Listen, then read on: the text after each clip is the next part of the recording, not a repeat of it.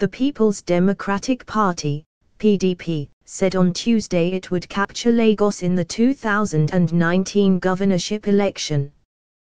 We will shock the All Progressives Congress, APC, by winning the governorship election in Lagos in 2019.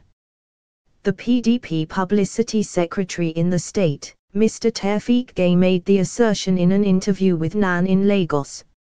According to him, 2019 will be the beginning of the end of the APC-led government in the state.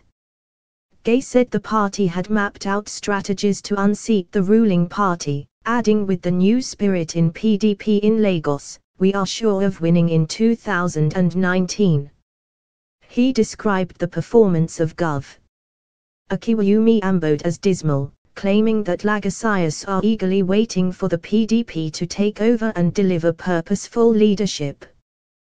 The party's spokesman added, We will shock the APC in 2019, take my words, we already have lots of novel ideas to wrestle them from power for now, we will keep our strategies sealed, when the game starts, we will unleash them. Ambode has failed in purposeful governance, what we see is propaganda and Project Planet the people desire change, which is PDP.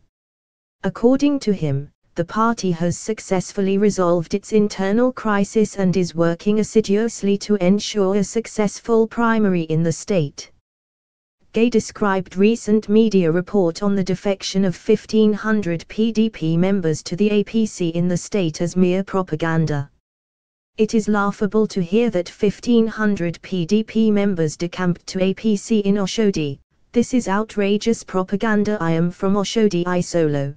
The area remains the strongest nest of PDP. We won all elective offices in the 2015 general elections, in spite the presence of the APC state chairman in the area, he said.